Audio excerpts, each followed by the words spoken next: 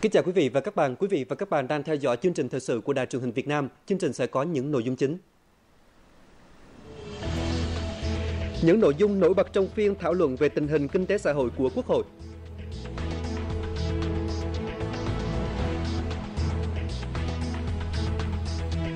Việt Nam, một trong những quốc gia đầu tiên thực hiện thí điểm bộ tiêu chí về sản xuất lúa gạo bền vững, hướng tới xây dựng thương hiệu cho hạt gạo Việt Nam. Công tác khôi phục và bảo tồn ca trù, di sản văn hóa của nhân loại vẫn đối mặt với rất nhiều khó khăn. Tiếp tục phiên thảo luận về tình hình kinh tế xã hội trong chiều ngày 2 tháng 11, bên cạnh thể hiện sự đồng tình và đánh giá cao những chuyển biến rõ nét, bền vững trong việc thực hiện các mục tiêu kinh tế xã hội trong năm nay và năm năm 2011 đến năm 2015, các đại biểu Quốc hội cũng bày tỏ chia sẻ với những khó khăn mà nền kinh tế đang phải đối mặt, đồng thời đề xuất nhiều giải pháp khắc phục trong thời gian tới. Mặc dù trong năm 2015, tình hình cả nước, tình hình các nước trên thế giới tiếp tục có những diễn biến phức tạp, gần đây nhất là sự xuất hiện tranh bá, xưng hùng của các cường quốc ở Biển Đông, ngay trên quần đảo Trường Sa của Việt Nam. Cùng với sự suy giảm tăng trưởng của một số nền kinh tế lớn, giá dầu thô giảm mạnh, đồng nhân dân tệ bị giảm giá, thiên tai, hạn hán, dịch bệnh đã tác động tiêu cực đến nền kinh tế của nước ta. Nhưng với sự cố gắng của cả hệ thống chính trị, kinh tế vĩ mô đã được ổn định, có 13 trên 14 chỉ tiêu đạt và vượt kế hoạch. Ấn tượng nhất là chỉ tiêu lạm phát giảm còn khoảng 2%, thấp nhất trong 15 năm qua. Tăng trưởng kinh tế dự kiến đạt khoảng 6,5%. Nhiều lĩnh vực kinh tế xã hội khác được quan tâm và phát triển đúng mức, lấy lại được niềm tin của công chúng. Chúng ta nói rằng là nền kinh tế vĩ mô của chúng ta trong cả một cái giai đoạn là ổn định và tăng trưởng phát triển thì có lẽ là tôi với tư cách là người làm công tác nghiên cứu thì tôi không dám nói thế. Và chúng ta vẫn tiếp tục đứng ở thứ 12 trong số là những nước có khả năng dễ vỡ nợ công nhất. Như vậy thì chúng ta thấy rằng là trong ba cái tái cơ cấu thì tái cơ cấu đầu tư công chúng ta nhìn nhìn nhận vấn đề nó là như vậy, kết quả nó là như vậy thì chúng ta phải nhìn rõ trách nhiệm của chúng ta ở đây như thế nào và phải thống nhất với nhau những vấn đề tồn tại của nội bộ nền kinh tế để chúng ta có một cái giải pháp rốt ráo trong năm 2016, 2020. Tôi đề nghị chính phủ quan tâm giải trình rõ hơn nguyên nhân vì sao việc thực hiện tái cơ cấu kinh tế gắn với đổi mới mô hình tăng trưởng chưa định hình rõ nét theo mục tiêu tổng quát của nghị quyết Quốc hội như báo cáo thẩm tra Ủy ban Kinh tế của Quốc hội đã báo cáo trước Quốc hội. Một lần nữa, như nhiều lần tôi và một số đại biểu qua các kỳ họp đã đề nghị là chính phủ quan tâm xác định rõ địa chỉ trách nhiệm quản lý nhà nước của bộ ngành trung ương, chính quyền địa phương về những hạn chế trong tổ chức thực hiện nhiệm vụ phát triển kinh tế xã hội năm 2015 và trong giai đoạn vừa qua 2011, 2012, 2015. Chúng ta đang có tâm thế gần như giống ở thời điểm mùa thu năm 2006 trước tiền gia nhập WTO giống nhất là ở khí thế sôi động và sự lạc quan hồ hởi về triển vọng kinh tế, dù thực tế là nền tảng kinh tế của chúng ta vẫn chưa đủ mạnh và thể chế vẫn chậm được thay đổi. Những khác ở căn bản, áp lực từ tiến trình hội nhập quốc tế đã lớn hơn rất nhiều, đã thực sự trở thành những thách thức đối với Việt Nam khi mà những hạn chế bất cân đối nội tại của nền kinh tế trong nước vẫn còn đó, lại đặt trong bối cảnh diễn biến địa chính trị trong khu vực và thế giới tiềm ẩn nguy cơ bất ổn, phức tạp và những biến động khó lường từ kinh tế tài chính, tiền tệ quốc tế. Chúng ta phải đấu tranh quyết liệt với mặt trái, mặt tiêu cực của kinh tế thị trường. Trong kinh tế thị trường không phải mạnh ai, người lấy ảm, phải cạnh tranh lành mạnh, không được gian dối chụp giật, phải thu nộp đủ thuế cho ngân sách, chống ô nhiễm môi trường. Các thành phần kinh tế được tự do làm giàu nhưng phải biết chia sẻ lợi ích vì ai đã hy sinh xương máu để có được tự do độc lập, ai giang giữ biên cương hải đảo, ai giữ gìn an ninh trật tự để có môi trường yên ổn làm ăn và còn biết bao người nghèo chưa đủ cơm ăn áo mặc. Nhà nước định hướng sao chủ nghĩa thì phải biết điều tiết lợi nhuận, chống tích tụ tài sản tiền bạc vào một nhóm người. Nhà nước phải điều hòa các nhóm lợi ích để bảo vệ quyền lợi của người dân và đầu tư phát triển trong kinh tế thị trường. Đấy mới là nhà nước của dân, do dân và đó mới là công bằng, văn minh. Tại Đại hội Đảng bộ thành phố Hà Nội sáng ngày 2 tháng 11, Ban chấp hành Đảng bộ thành phố đã bầu 16 cán bộ vào Ban Thường vụ Thành ủy Hà Nội nhiệm kỳ mới. trên cơ sở kết quả bầu Ban Thường vụ, Ban chấp hành Đảng bộ thành phố Hà Nội cũng đã bầu các ông bà Ngô Thị Thanh Hằng, Nguyễn Thị Bích Ngọc, Đào Đức Toàn, Nguyễn Đức Chung làm Phó Bí thư Thành ủy. Trong đó, bà Ngô Thị Thanh Hằng được phân công làm Phó Bí thư Thường trực Thành ủy nhiệm kỳ mới. Theo chương trình sáng ngày 3 tháng 11, Đại hội Đảng bộ thành phố Hà Nội sẽ họp phiên bế mạc và chính thức ra mắt Ban chấp hành Đảng bộ thành phố khóa mới.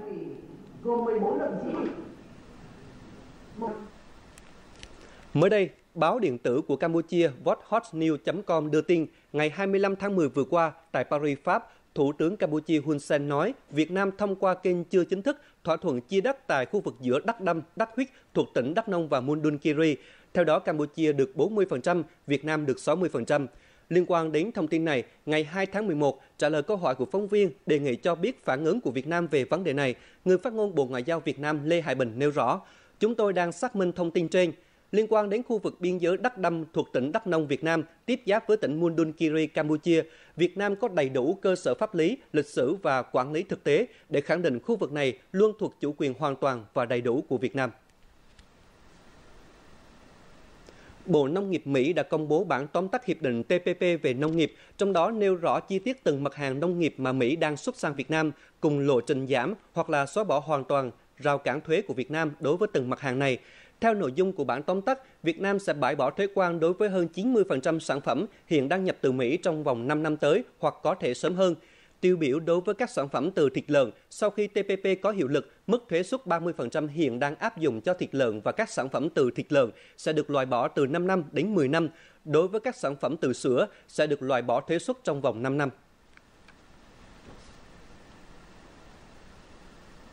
Chương trình môi trường của Liên Hợp Quốc và Viện Nghiên cứu Lúa Quốc tế đã công bố chuẩn mực đầu tiên trên thế giới về sản xuất lúa gạo bền vững, gọi tắt là SRP. Việt Nam đã được lựa chọn để trở thành một trong những quốc gia đầu tiên thực hiện thí điểm bộ tiêu chí này. Nếu triển khai thành công, đây sẽ là công cụ giúp nâng cao thương hiệu hạt gạo Việt Nam. Canh tác lúa tiêu tốn 30 đến 40% lượng nước ngọt của thế giới. 5% lượng khí thải nhà kính cũng bắt nguồn từ việc trồng lúa. Thời gian tới, tất cả các quốc gia sản xuất lúa gạo sẽ phải chuyển sang mô hình canh tác bền vững là vẫn duy trì năng suất mà không làm hủy hoại tài nguyên đất, nước, môi trường. Việt Nam cùng với 8 quốc gia khác đã được chọn thí điểm thực hiện bộ chuẩn mực đầu tiên của thế giới về canh tác lúa bền vững hay còn gọi là SRP. Khi tập đoàn Lộc Trời trở thành thành viên chính thức của SRP thì SRP sẽ hỗ trợ cho chúng ta hoàn thiện cái chuỗi giá trị bền vững của mình và cũng chính SAP là người có đủ điều kiện, đủ uy tín để với để kết nối với các cái bên có liên quan và đặc biệt là người tiêu dùng. Để được chứng nhận đạt chuẩn SRP, vùng trồng lúa phải thỏa mãn 46 yêu cầu chặt chẽ về năng suất, an toàn thực phẩm và đa dạng sinh học.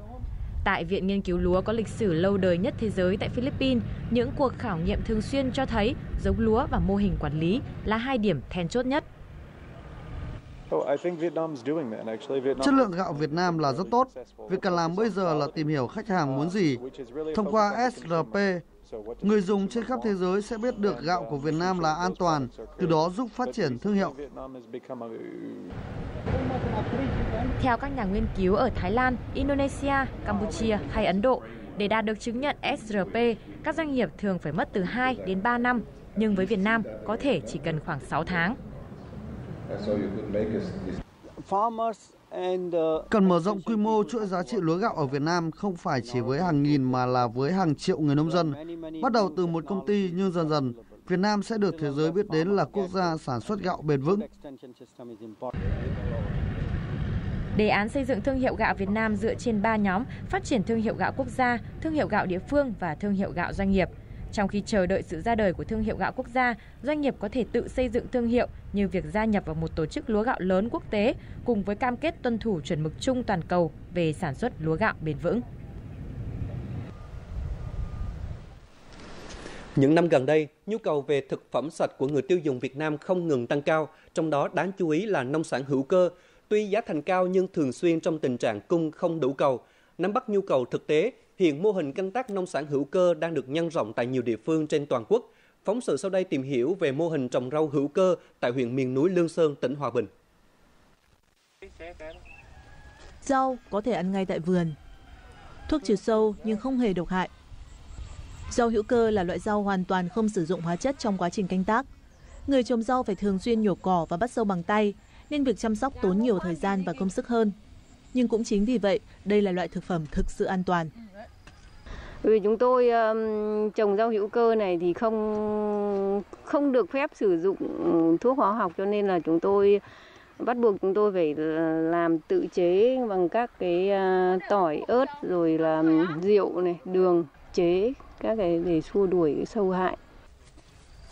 Năm 2008, được sự giúp đỡ của Đan Mạch, huyện Lương Sơn, tỉnh Hòa Bình bắt đầu triển khai mô hình trồng rau hữu cơ.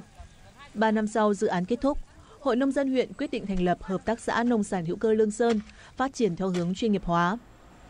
Kể từ đó tới nay, với số lượng thành viên và quy mô sản xuất không ngừng được mở rộng, Hợp tác xã Lương Sơn trở thành một trong những nguồn cung rau hữu cơ chủ yếu cho các tỉnh phía Bắc. Thì hiện nay là cái hợp tác xã của chúng tôi ấy, là có tất cả là 16 nhóm. Đấy, trong đó là có 108 ờ, thành viên. Đấy, từ cái hợp tác xã đấy đến nay thì chúng tôi nói chung là cũng hoạt động nó đều. Ờ, hiện nay là cũng đã có cái ờ, đầu ra cho nên là bà con hiện nay cũng rất là yên tâm. Phương thức canh tác hữu cơ đang được Liên Hiệp Quốc khuyến khích sử dụng bởi phương thức này vừa có thể đảm bảo an toàn lương thực, vừa góp phần bảo vệ môi trường. Đối với huyện Lương Sơn, mô hình trồng rau hữu cơ còn có ý nghĩa là sinh kế giúp giảm nghèo bền vững cho người dân, đặc biệt là đồng bào dân tộc thiểu số. Hiện 100% xã viên của Hợp tác xã Lương Sơn là người dân tộc Mường. Thứ nhất là giải quyết được việc làm tại chỗ và nó không kén chọn người lao động. Cái thứ hai nó là đưa được cái sản phẩm uh, sạch, sản phẩm chất lượng cao và có uy tín chất lượng đưa ra thị trường mà lại giải quyết được cái bền vững cho uh, cái chương trình xóa đói giảm nghèo. Trong kế hoạch phát triển giai đoạn từ năm 2016 đến năm 2020, huyện Lương Sơn xác định sẽ xây dựng vùng chuyên canh nông sản hữu cơ. Trong đó, ngoài vùng chuyên canh rau với diện tích lên đến 50 hectare, huyện sẽ mở rộng mô hình nuôi trồng hữu cơ sang cả các loại gia súc, gia cầm và thủy sản. Ngày 2 tháng 11 tại Hà Nội, Cục Sở hữu trí tuệ phối hợp với Cơ quan Hợp tác Quốc tế Nhật Bản JICA tổ chức buổi tọa đàm với chủ đề nâng cao hiệu quả thực thi quyền sở hữu trí tuệ và vai trò của báo chí. Mục tiêu quan trọng đặt ra hiện nay là làm thế nào đảm bảo thực thi quyền sở hữu trí tuệ, giúp cho các nhà đầu tư trong và ngoài nước có môi trường kinh doanh lành mạnh. Trong nửa đầu năm nay, các cơ quan chức năng đã phát hiện hơn 300 vụ xâm phạm sở hữu trí tuệ, sản xuất buôn bán hàng giả. Khó khăn lớn nhất hiện nay trong công tác bảo hộ quyền sở hữu trí tuệ là xây dựng và hoàn thiện khung pháp lý. Dự án tăng cường năng lực thực thi quyền sở hữu trí tuệ tại Việt Nam được triển khai từ tháng 6 năm 2012 và sẽ kết thúc vào tháng 3 năm 2017, đặt mục tiêu hỗ trợ các cơ quan, chuyên viên Cục Sở hữu trí tuệ tại Việt Nam có được kiến thức trình độ, qua đó có một lực lượng giảng viên để truyền đạt lại các kiến thức sở hữu trí tuệ cho doanh nghiệp và công chúng. Đảo Phú Quốc đang dần trở thành một điểm du lịch hấp dẫn trong khu vực và thế giới với nhiều dự án đầu tư cao cấp có sự tham gia của các đối tác nước ngoài. Gần đây nhất, công ty cổ phần đầu tư và phát triển Phú Quốc, đơn vị thành viên của CEO Group đã chính thức ra mắt dự án Sonasi Villas and Resort. Dự án có quy mô 80 ha, tổng mức đầu tư 4.500 tỷ đồng, trải dài gần 1 km mặt biển tại trung tâm bãi trường, một trong những bãi biển đẹp nhất Phú Quốc. Cách sân bay quốc tế Phú Quốc 5 phút và thị trấn Dương Đông 10 phút chạy xe. Từ Sonasi Villas and Resort, du khách có thể di chuyển thuận tiện để khám phá các danh thắng nổi tiếng như suối tranh, suối đá bàn, dinh cầu, chùa Hồ Quốc, vườn quốc gia Phú Quốc. Khu tổ hợp bao gồm các khu resort 4 sao đến 5 sao, Novotel Phú Quốc Resort, khu biệt thự nghỉ dưỡng Sonasi Villas, căn hộ nghỉ dưỡng Sonasi Condotel, khu phố đi bộ và mua sắm, khu phức hợp văn phòng và thương mại sầm uất, khu vui chơi giải trí hiện đại, mang đến các dịch vụ đa dạng, vừa kết hợp nghỉ dưỡng vừa có thể kinh doanh. CEO của Group đã lựa chọn các đối tác danh tiếng hàng đầu thế giới, khu vực và Việt Nam như Savins, Accor, The Ascot, Sai Asia, Kumi Asia, Cotecons, CEO xây dựng để cùng xây dựng Sonasi Villas and Resort trở thành một trong những trung tâm du lịch nghỉ dưỡng đẳng cấp nhất trên đảo Ngọc. Trong phần tiếp theo của chương trình sẽ có những nội dung đáng chú ý. Bệnh viện Trung ương Huế thực hiện xạ phẫu điều trị ung thư gan đầu tiên tại Việt Nam. Công tác khôi phục và bảo tồn ca trù, di sản văn hóa của nhân loại vẫn đối mặt với rất nhiều khó khăn. Ngày 2 tháng 11 tại Hà Nội, Tòa án Nhân dân tối cao đã tổ chức hội thảo với chủ đề Hội thẩm Tòa án Nhân dân và mô hình phòng xét xử cùng với đề án đổi mới trang phục của thẩm phán. Mô hình phòng xét xử mới có điểm đáng chú ý là luật sư bào chữa và kiểm sát viên ngồi ngang hàng, bình đẳng với nhau, chỉ có bàn và bục của hội đồng xét xử là cao hơn bàn và bục của các thành phần khác. Đây cũng là điểm chung với các mô hình phòng xét xử của nhiều quốc gia trên thế giới. Một điểm đáng chú ý khác là đề xuất đổi mới trang phục để đảm bảo được tính trang nghiêm, thể hiện tính đặc thù của người bảo vệ công lý. Việc đổi mới trang phục này đảm bảo sự hội nhập quốc tế bởi hầu hết các quốc gia trên thế giới đều có trang phục riêng, đặc thù cho đội ngũ thẩm phán khi xét xử. Các mẫu trang phục này sẽ được lấy ý kiến đóng góp để Tòa án Nhân dân tối cao hoàn thiện và trình Ủy ban Thường vụ Quốc hội xem xét phê duyệt chính thức trong thời gian tới. Sau những thành công trong điều trị ung thư não và dạ dày bằng hệ thống máy xạ trị gia tốc hiện đại nhất Việt Nam, khoa ung bướu Bệnh viện Trung ương Huế đang tiếp tục thực hiện điều trị ung thư gan bằng xạ phẫu. Đây được biết là ca phẫu xạ phẫu điều trị ung thư gan đầu tiên tại Việt Nam. Bệnh nhân Lê Thị Mai, 88 tuổi, quê ở Phú Vang, Thừa Thiên Huế, được cấp cứu tại Bệnh viện Trung ương Huế vào ngày 6 tháng 11 trong tình trạng đau bụng. Qua chẩn đoán, các bác sĩ kết luận bệnh nhân này bị ung thư gan nặng với khối u lớn hơn 6,5 cm và đã quyết định điều trị bằng phương pháp xạ phẫu. Bệnh viện ờ, Trung ương Huế thì coi như là đã tạo điều kiện cho bà là làm một phương pháp coi như là uh, đơn giản nhất, nhẹ nhất mà không đau đớn mà đang lại hiệu quả. Thì hôm nay là bà xạ trị lần thứ hai thì sức khỏe của bà thì nói chung là cũng thấy là tạm ổn và dần dần đi vào hồi phục. Hiện nay để điều trị các bệnh ung thư có ba biện pháp chính là phẫu thuật, xạ trị và hóa trị. Trong đó xạ trị là phương pháp dùng hệ thống máy để phát ra chùm tia ion hóa và có năng lượng cao làm phá vỡ tế bào ung thư. Với các khối u gan, trước đây có rất nhiều phương pháp điều trị khác nhau tùy vào mức độ của bệnh như phẫu thuật ghép gan, phương pháp tắc mạch hóa dầu hoặc đột nhiệt bằng sóng cao tầng. Tuy nhiên với những bệnh nhân cao tuổi, khối u lớn như trường hợp này thì các phương pháp trên không hiệu quả nên đòi hỏi phải tiến hành xạ phẫu bằng máy xạ trị gia tốc. Từ trước đến nay thì các cái kỹ thuật xạ phẫu chủ yếu là vùng dùng cho vùng đầu cổ. Đối với vùng thân thì cái việc xạ phẫu à, những cái bệnh nhân mà cho các khối u như là gan hoặc tụy thì nó khó hơn. À, thế thì đối với máy xạ trị gia tốc Electa Asset của bệnh viện Trung Huế thì chúng tôi có cái hệ thống cố định nó rất là hiện đại. Đó là hệ thống cố định thân vào trong cái à, phần bụng của bệnh nhân để cho cái giới hạn biên độ thở của cái khối u gan nó chỉ dưới 1 cm À, đảm bảo cho cái việc à, xạ vị cái mục tiêu xạ của cái xạ phẫu là đúng cái vị trí. Được đưa vào sử dụng tại bệnh viện Trung ương Huế từ tháng 7 năm 2015, một ngày máy xạ trị gia tốc có thể tiến hành xạ trị từ 30 đến 40 bệnh nhân, góp phần cứu sống nhiều bệnh nhân mắc bệnh ung thư não và dạ dày. Việc lần đầu tiên điều trị cho bệnh nhân ung thư gan bằng phương pháp này đã mở ra cơ hội lớn chữa lành bệnh ung thư gan và kéo dài thời gian sống cho bệnh nhân trong thời gian tới. Nhìn chung thì à, những cái phương pháp điều trị trên à, u gan thì nó cũng có những cái à, kết quả nó cải thiện hẳn cái thời gian sống cho bệnh nhân. Và đặc biệt là đây là một cái phương phương tiện mà gọi là can thiệp tối thiểu mà không xâm nhập vào cơ thể bệnh nhân. Cho nên nó có giá trị rất là lớn bởi vì nó sẽ làm cho cái chất lượng sống của bệnh nhân tốt hơn. Nó làm cho cái thời gian sống thêm và cái à, kết quả của các cái điều trị khối u gan nó sẽ tốt hơn so với bệnh nhân không có điều trị gì hoặc là sử dụng các cái phương pháp mà không phù hợp khác. Rời khỏi phòng xạ trị sau khoảng 30 phút, sức khỏe bệnh nhân Lê Thị Mãi bình thường và tiến triển tốt. Hiện tại bệnh nhân này còn sẽ tiếp tục được theo dõi và xạ trị cách nhật theo hướng dẫn của bác sĩ. Hai ngày cuối tuần vừa qua, tỉnh Bắc Ninh đã tổ chức Ngày hội Công nhân, thu hút nhiều người lao động tham gia. Đây là lần thứ hai lễ hội được tổ chức và đang hướng đến trở thành lễ hội hàng năm của người lao động. Mỗi chai dầu ăn bán tại đây rẻ hơn giá thị trường từ 10 đến 20.000 đồng. Đa số các mặt hàng đều thấp hơn giá trị thị trường từ 10 đến 20%. Đây là cơ hội để người lao động mua được các mặt hàng thiết yếu với giá rẻ.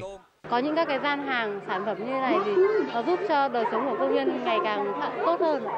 À, tức là mua mình mua với một cái số giá giá tiền nó cũng hợp lý, phù hợp với người tiêu dùng. Đặc biệt là đời sống của công nhân viên như bây giờ đồng lương thì khoảng tầm 4 triệu nó phù hợp với giá cả của công nhân viên khi mà đi làm đi. Với 45.000 lao động làm việc trong khu công nghiệp Visit tỉnh Bắc Ninh, trong đó có 70% là người của các tỉnh khác đến, tỉnh Bắc Ninh rất chú trọng đến việc chăm lo đời sống vật chất, tinh thần cho người lao động. Thông qua đó thì công nhân sẽ tin tưởng và thấy rằng là cái sự chăm lo cho người lao động là uh, kể cả diện rộng và kể cả những cái cái rất là cụ thể, rất là hiệu quả. Tương lai chúng tôi sẽ vừa là chỉ đạo, vừa là tạo điều kiện để cho cái doanh nghiệp có thể nhân rộng những cái cái cái chương trình những cái đêm hội như thế này để tạo điều kiện cho công nhân phấn khởi và yên tâm sản xuất tốt hơn. Các hoạt động thể thao, văn nghệ cũng không kém phần sôi nổi, đã thu hút khá đông công nhân tham gia. Vốn bận rộn quanh năm với công việc, người lao động giờ đây được vui chơi, giải trí, như vậy sẽ gắn bó hơn với nơi làm việc. Trong số 9 di sản văn hóa phi vật thể của Việt Nam được UNESCO ghi danh vào danh sách di sản của nhân loại, thì ca trù có độ phủ rộng lớn nhất khi có mặt tại 15 tỉnh thành trên cả nước. Tuy nhiên, đã 6 năm trôi qua kể từ khi nhận danh hiệu, vẫn chưa có một đề án tổng thể nào được xây dựng để cứu di sản này khỏi tình trạng bảo vệ khẩn cấp như cam kết với UNESCO. Điều này khiến cho việc khôi phục và bảo tồn loại hình âm nhạc độc đáo này vẫn phải đối mặt với rất nhiều khó khăn. Đền Quan Đế trên phố Hàng Buồm, nơi câu lạc bộ ca trù Thăng Long được hỗ trợ địa điểm để biểu diễn hàng tuần.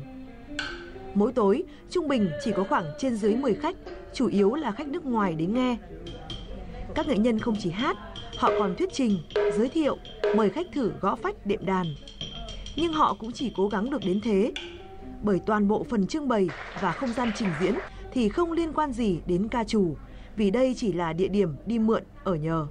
Ờ, vì cái không gian này nó không thuộc về mình và mình cũng chỉ được mượn nó ở tối thứ ba thứ năm thứ bảy thôi đó là cái rất là hạn chế và đấy cũng là cái lý do vì sao mà du khách cũng không biết đến cái điểm diễn này Tuy vậy, điều kiện hoạt động của câu lạc bộ ca trù Thăng Long vẫn là niềm mơ ước của hơn 60 câu lạc bộ ca trù hiện có của cả nước. 6 năm qua, số câu lạc bộ đã tăng gấp 3 lần, nhưng hầu hết đều hoạt động cầm chừng. Hầu như cũng không ai sống được bằng nghề. Nhạc sĩ Đặng Hoành Loan, người trực tiếp xây dựng hồ sơ ca trù trình UNESCO cho rằng ca trù được hồi sinh phần nào như hôm nay, phần nhiều là do tâm huyết của cộng đồng, chứ nhà nước chưa làm được gì nhiều so với cam kết với UNESCO. À, trong cam kết của chúng ta có công việc tiếp tục nghiên cứu. Thế thì sau khi đấy chả tiếp tục gì cả, chả đầu tư gì để tiếp tục, chưa nói những chuyện khác. Thế tức là ở trong cái cam kết của chúng ta có 10 điều cam kết thì chúng ta mới làm được một điều tức là tổ chức được đôi ba cuộc liên hoan thế là hết như vậy là 6 năm sau khi thành di sản thế giới, một chương trình hành động quốc gia để cứu ca trù khỏi tình trạng bảo vệ khẩn cấp vẫn còn đang bỏ ngỏ. Chưa biết bao giờ đề án này thành hiện thực, để còn kịp tiếp sức cho những nghệ nhân già đã mòn mỏi đợi chờ.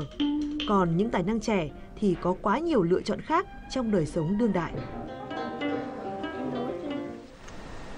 Chương trình thời sự xin được kết thúc tại đây. Cảm ơn sự quan tâm theo dõi của quý vị và các bạn. Quý vị và các bạn có thể xem lại chương trình tại địa chỉ website vtv4.vn hoặc trang YouTube VTV4Go của Đài truyền hình Việt Nam. Xin chào và hẹn gặp lại.